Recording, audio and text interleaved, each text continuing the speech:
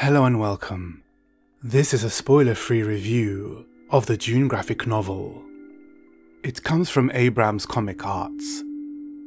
Based on Frank Herbert's novel, it was adapted by Brian Herbert and Kevin J. Anderson.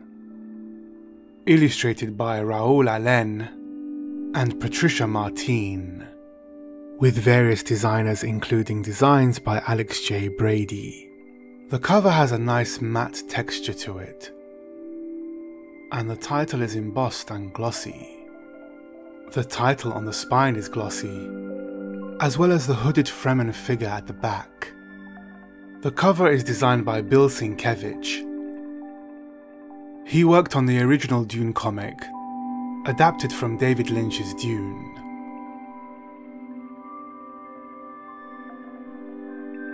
The first end paper is of a landscape of Arrakis during the day, and the second end paper is Arrakis during the night. The pages are nice and thick with good quality paper. They've gone for a very clinical, clean art style, which easily conveys the action occurring on the page. Some of the imagery in the graphic novel is very striking, and the depiction of the sandworm is terrifying.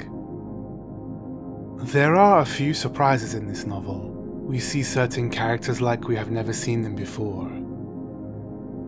This effort feels like an abridged version of Dune. We get what we need to know to further the story. As this is an adaptation of the first third of Frank Herbert's Dune book, it is a continuing series, so the story is ongoing. As an adaptation, this is a good effort. It's accurate and stays faithful to Frank Herbert's Dune book. This graphic novel is the first of three, entitled Book 1 Dune. Book 2 will be called Muad'Dib, and Book 3 will likely be called The Prophet, based on the books within Frank Herbert's Dune novel of the same titles. If you'd like to get a copy of the Dune graphic novel, follow the link in the description below.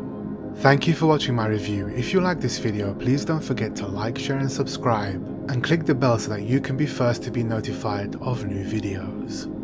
If you enjoy my channel and wish to see more, you can support me on my Patreon, or join as a channel member, where you will receive access to exclusive content, video releases ahead of time, secret content, and more.